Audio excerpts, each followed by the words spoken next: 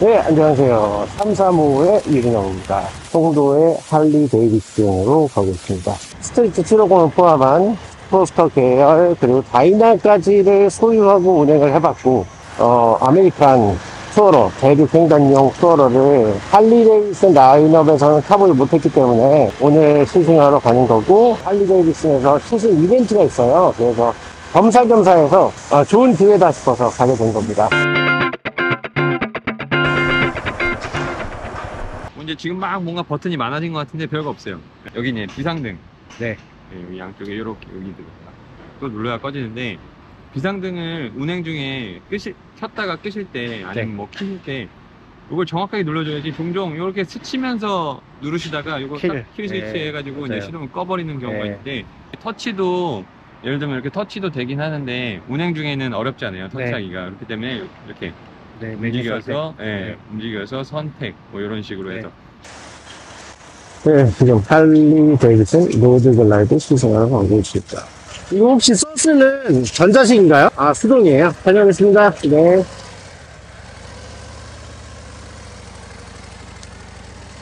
와, 뭐, 뭐 이렇게 부드러워, 차가? 와, 이게 할리가 진동으로 타는 건데, 출발하자마자 느끼는 바는 딱 세 가지 정도 있습니다. 기어가 완전히 그 일제 바이크처럼 톡톡 들어가는 그런 느낌. 원래 할리는 넣으면 빵 때리거든요. 근데 딱 그런 느낌이고 front 브레이크 살짝 가만 잡았는데 정차 잘하고 스로틀이 조금 너무 예민해가지고 지금 이 상태에서 살짝만 움직였는데도 지금 RPM 올라가잖아요. 살짝만 가봤는데 그래서 이거를 트로틀만 적응하면 될 것 같아요. 핸들도 무거운 게 아니고 굉장히 부드럽네요. 이게 원래 할리는 그 진동감, 보동감으로 타는 건데 지금 느끼는 거는 2기통 BMW 타는 정도로 진동이 굉장히 상쇄되어 있거든요.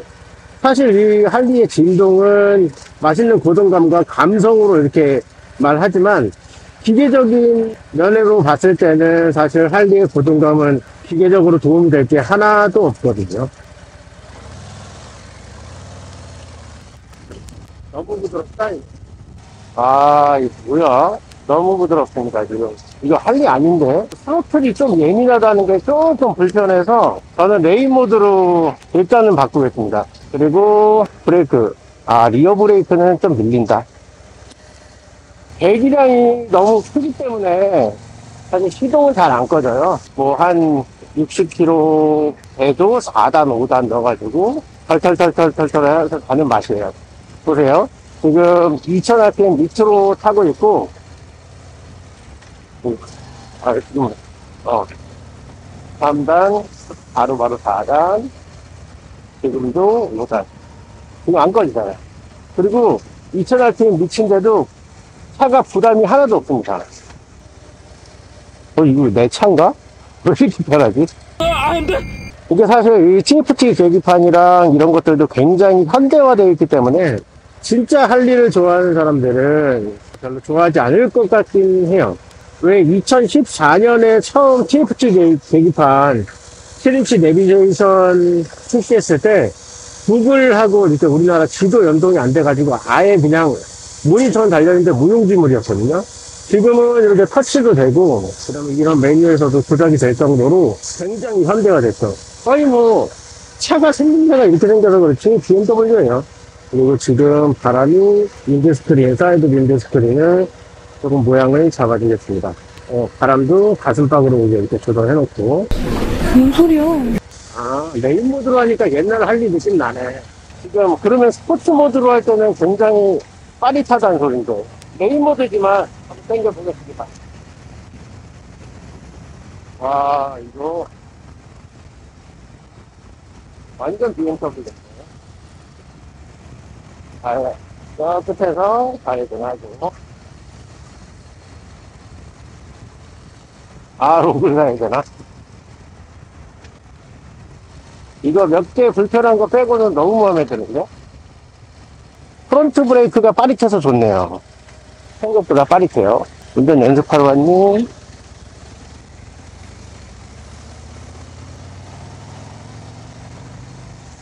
그리고 할리데이비슨 좋은 게 코너링 끝나면 깜빡이 삭제되는 거. 지금 유턴 살짝 지나왔는데 나쁘지 않습니다. 불편한 감이 없었어요, 지금은. 5단, 6단. 이거 봐. 1단에 80km. 1단에 80km 놓고 쭉 가니까 이거 굉장히 편한데요. 누가 이 투어의 밀접성 떨어진다고 했어. 와.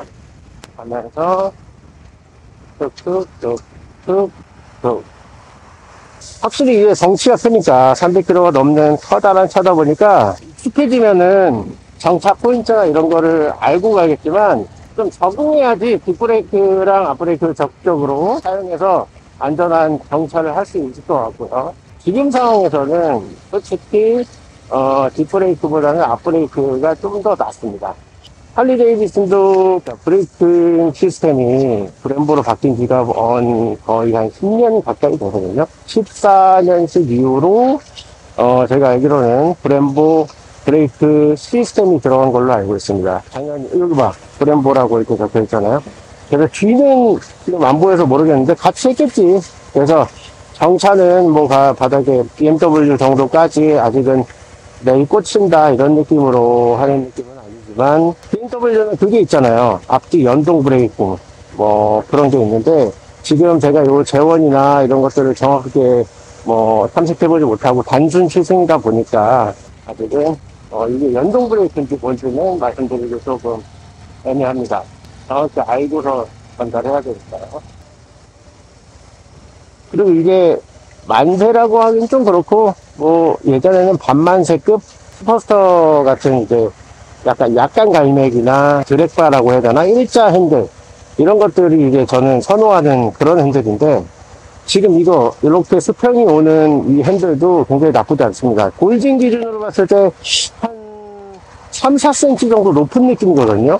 이게 어깨하고 제 키 때문에 그런 건지 수평이 잘 맞아가지고 의외로 편하고 할리 데이비슨의 그 맛, 진동 맛 이런 것들은 사실 없지만 어, 나 스스로가 느끼는 그런 멋있음 이런 것들을 느끼네요. 어, 나 좀 멋있는데 막 이런 거 있잖아요. 근데 BMW나 다른 차차종 살 때는 그런 거 없었거든요. 그냥 어, 혼다 같은 경우는 특히나 내가 어, 나좀 타고 다니면 멋있겠지 이런 느낌은 없었어요. 그냥 빠릿하게 이렇게 타고 다니고 그랬는데 지금은 내가 이거 할리를 타고 있으니까 어, 나좀 어, 멋있겠는데? 막 이런 느낌이 들어요. 아, 로드글라이드 너무 멋있다. 아니, 내가 타는데도 뭔가 내가 멋있을 것 같아. 지금 full 충전에 350km 찍혀 있거든요. 제가 다이나 슈퍼글라이드 커스텀 어, 타고 다닐 때 만땅 넣었을 때 350km 찍혔는데 실제로 200km를 못 탔습니다. 그 정도로 배기량 때문에 연비가 좀 안 좋아요. 근데 이거 만듦새 자체가 grand tourer 그러니까 American tourer다 보니까 장거리에 최적화되어 있거든요. 우리나라 같은 그런 짧은 거리를 계속 반복해서 다니기에는 연비가 안 좋을 수밖에 없고 그리고 또 진짜 최악 중에 하나가 뭐냐면 저거예요. 열. 할리데이비슨 열. 지금은 뭐 윤행식, 이렇게 이제 순행식 이렇게 막 바뀌면서 열 관리 이런 게 그나마 조금 돼요. 앞에 뭐 이렇게 정차 중일 때는 뒤 실린더를 어, 멈추게 한다든지 해가지고 열 관리를 조금 하는 편인데 열을 굉장히 많이 받기 때문에 이 열 관리가 안 되면 할리데이비슨 엔진에서 누유가 즉시 발생합니다. 또 완전 최악이죠. 그 head gasket 변형돼가지고 누유되고 막 그래요. 그러니까는 어, 자동차도 마찬가지고 바이크도 마찬가지고 수냉식 차량 같은 경우는 그런 경우가 거의 없지만 어, 공랭에 가까운 그리고 특히나 작은 엔진의 고백이랑 엔진 같은 경우는 굉장히 열을 많이 먹습니다. 그래서 열 관리를 하려면 결국은 달려야 되는데 바이크는 고속도로도 못 나가는데 열 관리 되겠습니까? 결국은 국도에서 바르카라는 소리밖에 안 되는데 열 관리까지 안 돼버리면 진짜 완전 최악이죠. 어, 지금 이렇게 어, 저속에서 정차하는 것마저도 불편한 기색이 없습니다. 회전이 조금 좋아졌다고 하는데 제가 이게 한 방에 적응할 정도면 사실 볼딩보다 덜 무거운 느낌이 들어요. 지금처럼 기아가 살짝 빠지는 건 좀 그렇네요. 왜 오토바이 기아가 너무 확실하게 안 들어가서 그런가 기아가 좀 빠져버리네. 어, 조금 회전 엄청 좋죠? 이동감이 없습니다. 어? 다음에서 돌았어야 되나? 알루스 무선 충전. 개인적으로는 좋아하지 않는데, 봐봐, 진동 장난 아니죠? 그리고 이거 기아 지금, 지금 발이 짧아서 그런 건지 모르겠는데, 살짝 내니까 자꾸 빠져버리네? 이렇게. 이거 봐, 지금도 빠졌지? 완전히 꾹 눌러, 아, 뭐야. 지금도 빠졌네? 앞뒤로 좀 움직여줘야 되나 보다. 이 티어 왜 빠지지? 이게 거의 2000cc, 117 엔진, 1900 몇 cc인가? 2000cc에 가까운 엔진이기 때문에 지금 우리나라에 2000cc 어, 넘는 바이크가 출시된 게 옛날에 2000년대 초반에 발칸 2000 그리고 지금은 트라이엄프 로켓 3인가? 로켓 머시기 있잖아요. 걔네가 2000cc입니다. 2000cc 살짝 넘거나 2000cc 어뭐 그러는데 그런 2000cc 바이크가 있는데 2000cc이기 때문에 아까도 말씀드렸지만 여기 이렇게 도는데 1km도 안 되거든요 1km도 안 돌았는데 지금 3km 빠진 거 보세요 이거 어 연비는 버리고 타셔야 돼요 그냥 muscle car라고 생각하시면 돼요 미국의 머스탱 같은 그런 머슬카가 아니라 에스컬레이드 같은 큰 SUV 있잖아요 대배기량의 큰 SUV 그런 거 그런 차라고 생각하고 하셔야 되는 게 바로 이 할리 데이비슨 회사의 American tourer 기종입니다.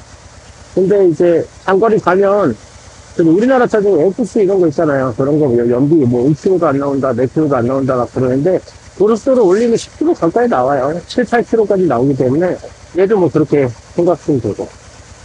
그리고 이게 서스가 전자식 서스가 아닌데 BMW나 다른 차들에 비하면은 조금 아쉽죠. 혼다 골든 같은 경우는 뭐 다 전자식 서스라서 뒤가 막 올라갔다 내려갔다 하고 하니까. 하나, 무사히 잘 끝을 하고 돌아왔으니까. 잠시 후 우회전입니다. 이어서 승인표 좌회전입니다. 자, 그리고 여기 side stand. 너무 멀어. 어때요? 어우, 너무 부드러운데요?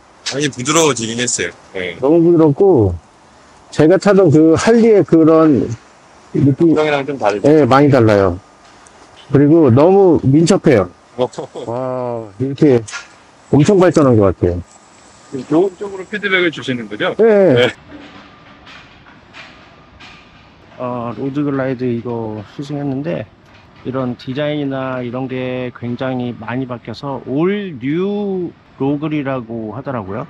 이 원래는 여기 눈깔 두 개 있는 걸로 되는데 이게 디자인이 상당히 많이 바뀌어서 인디언 챌린저하고 좀 많이 비교가 될 것 같고 크고 작은 디자인들이 많이 바뀌었습니다. 이거는 냉각수 라인인 것 같은데 공랭 엔진에서 못 보던 이런 것들이 조금 있고 엔진 가드가 좀 심플하게 바뀌었고 그리고 rear 엔진 가드도 옛날에 그런 클래식 타입에 이렇게 동그랗게 되어 있는 타입에서 이런 스포티한 타입으로 어, 두 가지 종류 중에 선택할 수 있다고 합니다. pannier 케이스, 사이드 박스의 디자인도 여기서 보면 그렇게 잘 모르는데 크고 날렵하게 이렇게 bagger 같은 느낌으로 조금 바뀌었거든요. 수납을 떠나서 요 이렇게 둥그렇게 말린 이런 디자인이 진짜로 어, 챌린저가 자꾸 떠오르게 하는 그런 디자인입니다.